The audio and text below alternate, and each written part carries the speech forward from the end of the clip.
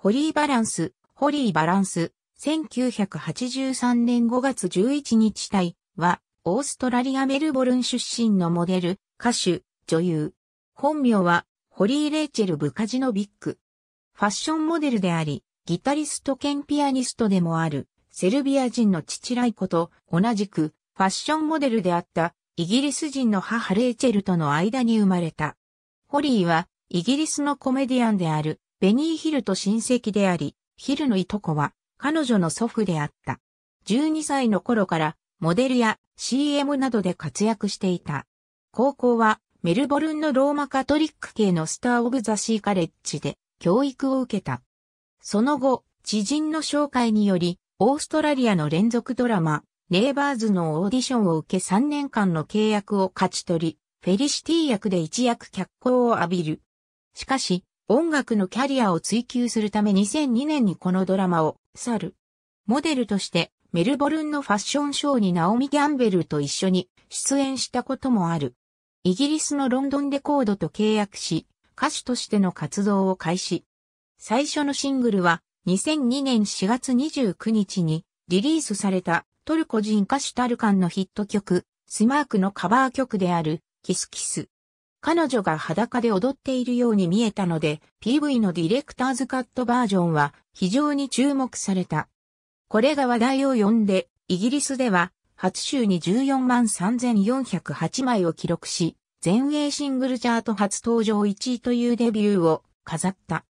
本国オーストラリアのアリアチャートでも1位となり、アメリカ、GQ 誌の2002年、ウーマン・オブ・ザ・イヤー、風刺の最もセクシーな女性に選ばれた。2002年の第16回アリアミュージックアワードにも、キスキスが4部門にノミネートされた。2枚目のシングル、ダウンボーイは、全英シングルチャートで最高2位、オーストラリアのチャートでは最高3位になった。2002年10月14日に発売されたデビューアルバム、フットプリンツは全英アルバムチャートで最高9位に、オーストラリアのアルバムチャートでは最高15位になった。このアルバムからの3枚目のシングルとなったノーティーガールは全英シングルチャートで最高16位に、オーストラリアでは最高3位になった。この曲はデビューアルバムからは最後のシングルカットとなった。日本でも2度プロモーション活動を行い、年末にはミュージックステーションやポップジャムに出演した。また、堂本剛の正直、しんどいでは、堂本剛とロケを行った。その淡麗な容姿から日本でも多くの支持を集め、アルバム、ホリーバランスは約30万枚もの売り上げを記録した。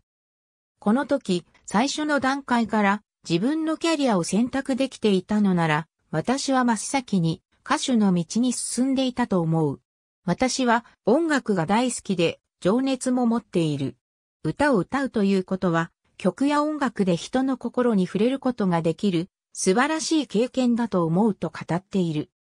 2003年、2枚目のアルバム、 State of Mindからシングルカットされた同名のシングル、 State of Mindが全英シングルチャートで最高8位、オーストラリアで最高14位になったが、同年11月6日に発売されたアルバム自体は、イギリス、オーストラリアともにアルバムチャートで50位以内にも入らないという結果になった。日本では最高12位、ゴールドディスク獲得と検討したが、このアルバムからの2枚目のシングルカットとなるはずだったディザイアーのプロモーションは、アルバム自体の売り上げが伸び悩んだことなどからキャンセルされた。売り上げの低迷に加えて、彼女の元恋人でもあったマネージャーとの解雇に絡む訴訟問題などもあり、彼女はレコード会社から契約を打ち切られてしまう。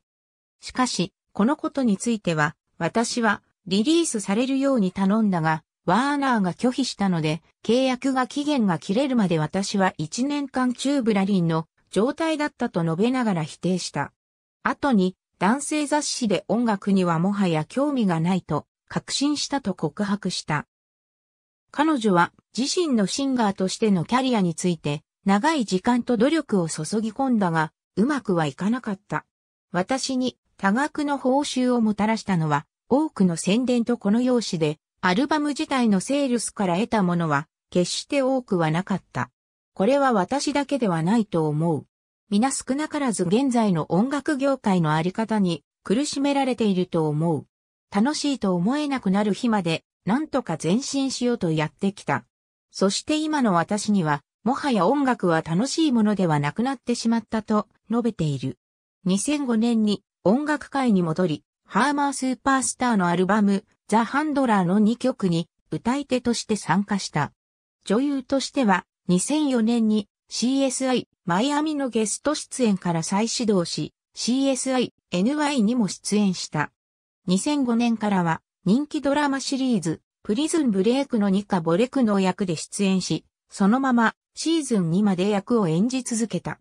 2006年にはパリス・ヒルトンと共にナショナル・ランプーンの喜劇であるプレジディスに出演。同じ年、人気テレビゲームが脚本の DOA、デッド・オア・アライブにもクリスティア・レイン役で出演し、シャワーシーンなどの演技を披露した。2008年、96時間でリーアム・ニーソン、ファムケ・ヤンセンと共演。また、CW テレビジョンネットワークで10月に放送されたバレンタインにも出演した。このような映画やドラマで演じる仕事だけでなく、コレクトコールサービスの1800リバースやシュワルツコップのヘアケア製品の広告等も務めた。ありがとうございます。